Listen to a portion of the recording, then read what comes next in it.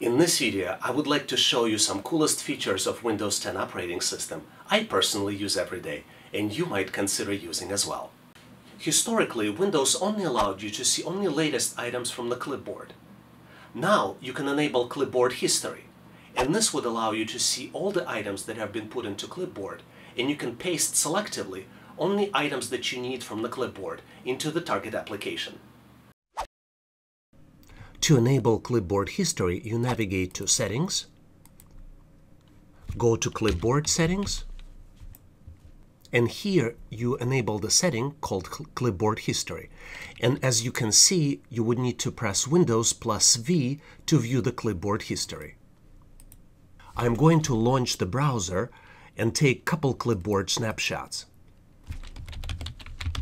So I'm going to navigate to Microsoft.com I'm going to use keyboard shortcut Windows Shift S to enable snip and sketch and this will take image into the clipboard. And I'm gonna I'm going to scroll down here and select some text and use control C shortcut. You can also use right mouse click and use copy on the clipboard. And uh, I will um, click and take a combination of um, image and text using Windows Shift S keyboard shortcut on the keyboard. So by now I should have three uh, items in my clipboard. Now I'm going to use Windows V shortcut and you see that three items are available in Windows clipboard. To paste them I'm going to launch WordPad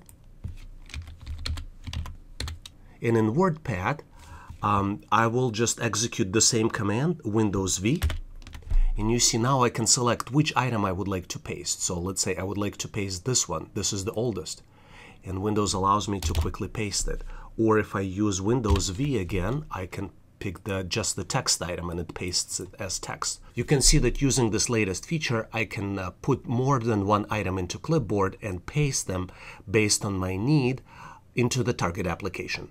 All of us would like to store sensitive documents in a secure place. Microsoft recently introduced Personal Vault concept on OneDrive. Personal Vault allows you for some extra protection and secure storage of your most sensitive and important documents. Access to Personal Vault requires multi-factor authentication and expires after 20 minutes. Personal Vault is configured through OneDrive settings. You click on OneDrive, you click More, and then you click Unlock Personal Vault, and it requires multi-factor authentication. To trigger multi-factor authentication, you select the email associated with the account and enter the code that was sent to the email. Once unlocked, uh, you can access Personal Vault just by clicking the folder, just like a regular folder. Uh, I put three sample files in that folder, and uh, you can access them from your PC or from um, online storage uh, in the cloud using the browser uh, the vault will automatically lock in uh, 20 minutes and you would have to use multi-factor authentication to access it again. But the fact that it requires multi-factor authentication uh, provides additional security and allows you to put sensitive documents into that particular folder. Windows Sandbox is a temporary desktop environment where you can run untrusted software without fear of lasting impact to your host PC. Any software installed on Windows Sandbox stays only on the sandbox and cannot affect your host. Once Sandbox is closed, Windows deletes all temporary files that have been created or loaded onto the Sandbox. To install Windows Sandbox, you need to navigate to Settings, Apps, Programs and Features, and here click Turn Windows Features on or off. Here on the list you select Windows Sandbox and click OK. Once installation is complete, Windows prompts you to restart the computer. Once installation is complete, you can launch Sandbox. By typing Sandbox, you click on Windows Sandbox to launch the application. You confirm and click Yes, and it spins off the new instance of Microsoft Windows. You can use Sandbox just as a regular version of Windows to test some uh, suspicious software or maybe check your emails. Once you're done using this, you can just click the X and that closes the sandbox. And Windows Sandbox cleans up after itself. All the data from the sandbox will be permanently lost. If you'd like the content, please make sure to click the like button, share with your friends, and subscribe to my channel. A lot of times, you may need to backup important documents to access them from multiple Windows computers or from the cloud storage by using the browser. Using latest version of Windows 10, you can configure OneDrive backup settings to define which folders should be synchronized with the cloud storage. To define which folders will be synchronized with OneDrive, you need to navigate to the OneDrive icon, go to More, go to Settings, and here in Settings, first of all, you can see that my account only uses 389 kilobytes out of 5 gigabytes available, but to choose folders um, that's available for the backup, you click Choose Folder button, and it shows all the folders available for the backup, and you can select which ones would you like to put in and synchronize. Once we finalize configuration, we can trigger the backup. To do that, you click OK on the settings screen, you navigate to Documents, and you click Manage OneDrive Backup. You click View Sync in Progress. To manage backup, I'm going to create a folder structure and couple sample files to demonstrate how backup works. I created sample folder in the documents and uh, three sample text files. Now to trigger the backup, what we need to do is we need to right mouse click on the documents and click Manage Online Backup and click Start Backup. And once backup is complete, you can navigate to the Documents folder and you will see that it replicated the folder structure on OneDrive and also the green status indicates that the sample folder for documents and three sample files have been backed up and are available in the cloud. To find what you're looking for quickly in Windows 10, it is extremely important to configure Windows search and indexing options correctly. To configure Windows search and indexing options, you need to navigate to Settings and type Windows Search Settings. By default, Windows 10 uses classic search and indexing options.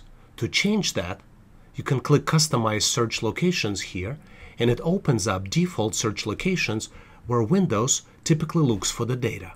To change the settings, you need to click Modify button. By default, Windows only searches on Drive C in the Users folder and only searches in the specific locations. So if your files are located outside of these folders, then they will not be indexed and Windows will not be able to find them. For example, all of my files are located on external drive, which is 512 gigabytes inside. To enable indexing on this drive, I can just check this box and then Windows will index all the files on this external drive. You can also manually modify all the folders that you would like to include in your search. Sometimes when you copied or created a lot of files on your computer, you might consider rebuilding the index. To do that, you click on Customize Search Locations here, and here you go to Advanced Options. In addition to rebuilding the index by using Rebuild button, you can also choose if you would like to index encrypted files. If you navigate to File Types area, you can granularly define if you want to index specific file extensions and how would you like them to be indexed, by properties only, which would include file name file description, size, and other attributes. Or you will include file properties and also file content, allowing Windows to find information based on the file content as well. Sometimes you may need to take a screenshot and have it saved into the file system. Windows provides a shortcut to accomplish this in one step, using Windows key and print screen button. To take screenshot and save it directly into the file system, you click Windows button and the holding Windows button push print screen. You see the screen flashes for a second and then you navigate to the folder uh, and you go to pictures and here Windows created screenshot subfolder and here you see your screenshot. Most of the times Windows updates and other maintenance tasks can start unexpected when you might be in the middle of the work and need full access to computer resources. Latest version of Windows 10 created some artificial intelligence algorithm to help determine your working hours. Enabling this algorithm would allow Windows to push updates and other maintenance tasks to trigger off hours when you're not using your computer. To allow Windows configure active hours, you click Start button, navigate to Settings. In Settings, you search for active hours.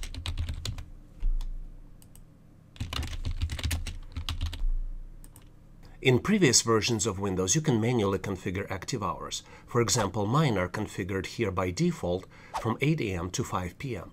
But now you can allow Windows automatically adjust active hours based on the activity. You turn on these settings and now, going forward, Windows will start monitoring when do you use the device and Windows will do maintenance activities outside of the active hours.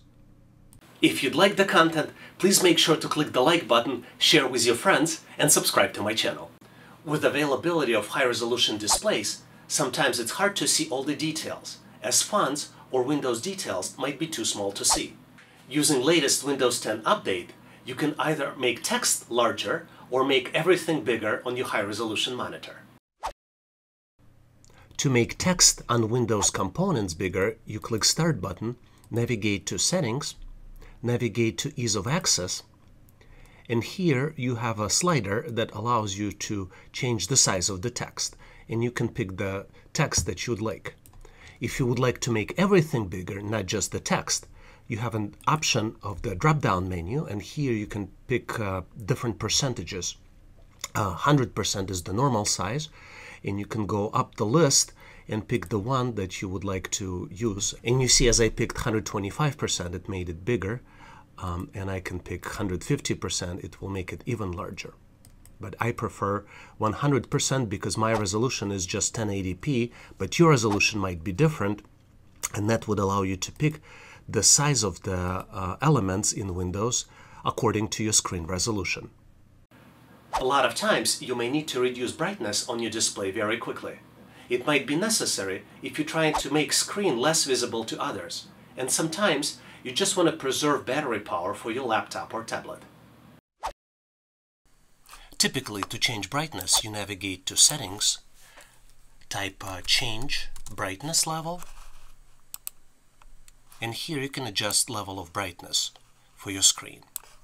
Now you can do it with just one mouse click. You navigate to Notifications, and here you can adjust brightness the same way. If this video was helpful, make sure to click the like button in your browser. Also, please help your friends to learn this topic faster by sharing this video with them.